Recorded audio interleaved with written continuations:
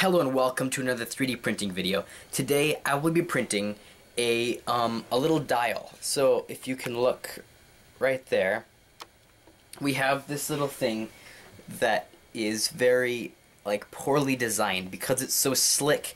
And what you do is you actually supposed to push it, and you can see a little thing. It's not. I mean, I've kind of learned to use it, and then you push it in to actually select. So if I want to change the speed of the print I push there, and that can go up and down. But it's tough for other people who don't have really much experience with that. I've used it quite a bit, so I kind of know how it works. But it'd be much better if I had an easier thing that maybe I could grab and turn. So I am printing out a new version, a new one that is easier to grip and um, doesn't doesn't uh, mess up prints as easily because I've accident accidentally when I was trying to push it in, it's actually done flip to the side and um, made me actually cancel the print rather than pause it because there's the two options um, right here and here to pause and cancel it and I it as I was pushing the button it's also the dial so it rolled to the next spot and then it hit cancel which is really frustrating. So with that there can be a lot of frustration. So I'm printing a new one. So I'm going to be printing it in black ABS filament and um, so I hope this works out. Yeah so I'm going to get the print started as soon as it's up to temperature, which will need to be, I have it, um, as you can see probably right there, um, 80 degrees Celsius for the build plate, and then I'm going to have it 130 or 230 degrees um, Celsius for the nozzle. Here we go.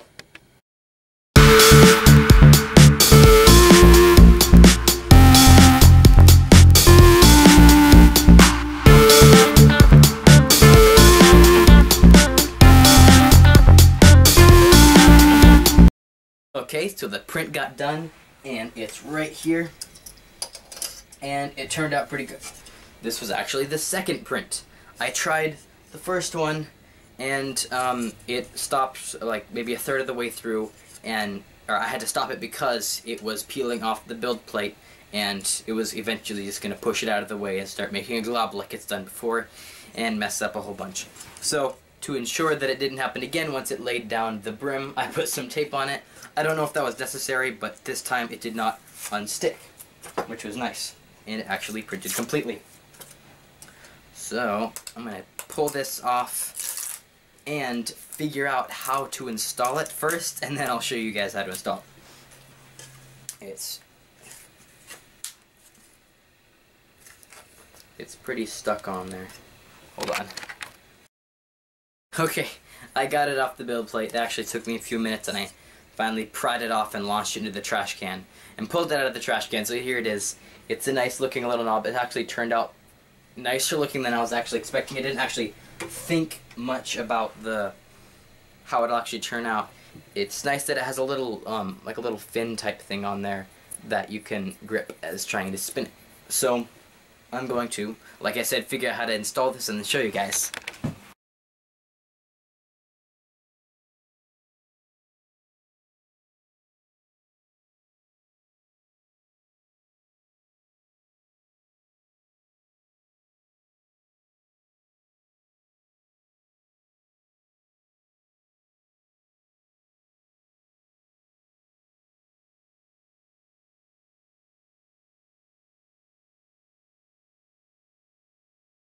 Okay, so um, I got it off after a little while, and um, so here's the piece right here, and um, so I'm basically just switching out this guy for this guy. And with this one, it's taller so that you can actually grab it and twist it rather than just kind of try to spin it with your fingers.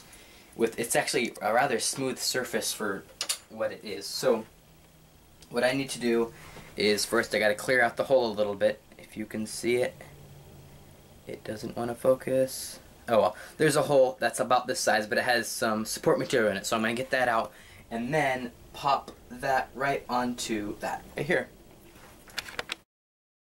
Okay, I got the material. It was actually really quick. Um, so you don't want to just put it on like this because then, because it's just a hole, um, it won't do anything. So you want to be able to put this through this side and then pop this on the other side. So I'm going to see if I can get a better view of it with the camera. Okay, that's a little bit of an awkward angle, but you can see the top part where the knob goes in, and you can see that the board's pulled out here. So this guy has got to go uh, right in here to spin, and this one has to go on the bottom side.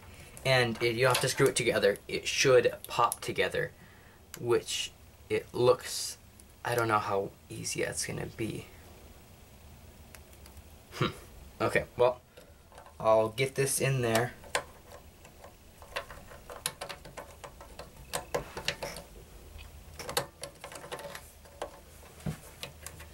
And try to push it on.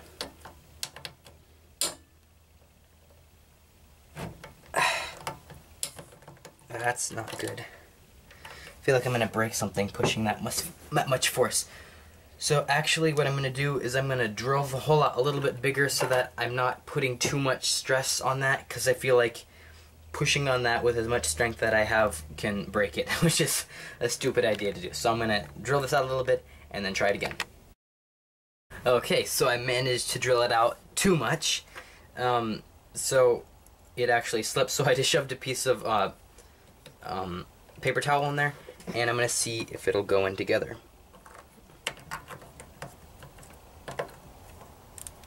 And there we go. It's in. So now I'm going to screw the screws back in and put it all back together and see if it works.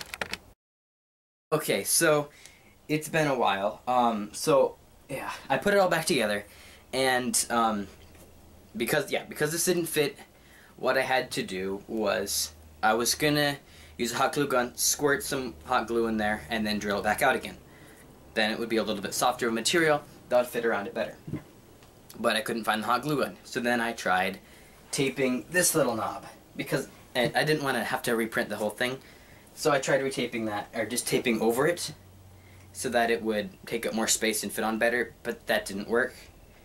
And then I thought, you know what, what if I just mix up some acetone and some, put some shavings and stuff from old uh, um, support and raft or brim material. And so I did that, I mixed it up in a jar, and then I poured it into the hole. Hopefully to fill in the space and, um, yeah, fill in the space. So, I'm seeing if it's gonna work. And it did. So it works. So actually, it spins, but I don't know if it actually works. So I'm to plug it back in because I had it unplugged because I opened the whole thing up. And turn it back on.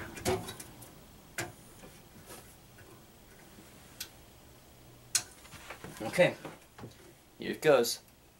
See, I'll zoom it in for you guys. Uh, oh no.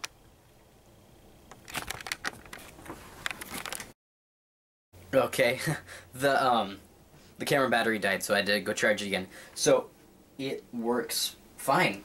Um, I'm not sure if I'll have to um, try to fix it later if it comes off or I have to reprint another one. But for now, it works great. And yeah. So if you like this video, remember to give it a, a like. And of course, if you're interested in seeing more printer mods on top of just knobs, maybe there's different things I can do. I've done, I've 3D printed uh, little feet for the uh, my printer. Um, I can 3D print, actually, there's whole, lots of mods, all, all on Thingiverse, that I can 3D print to modify my 3D printer. So, give this video a like if you are interested in me doing more of that. Um, subscribe to my channel because I do all sorts of 3D printing things um, just with this printer. Hopefully in the future I'll be getting another printer that'll be a lot bigger. It'll be about 400 to 300 millimeters um, build plate, and this is about 120 by 120 by 120. So it'll be like more than twice as big, and it'll be dual extrusion, dual heads, so I can do uh, 3D print models that have um, different colors, like a tree frog. I've seen a tree frog model that has the different colors interwound in it, so that there's no way you would have been able to print it with one uh, nozzle, and it's like it's one model, and you can't do it. So, um, I'm going to get with the printer. So if you like 3D printing videos, subscribe to my channel. And, um, thanks for watching. Remember to share this video with your friends. Bye.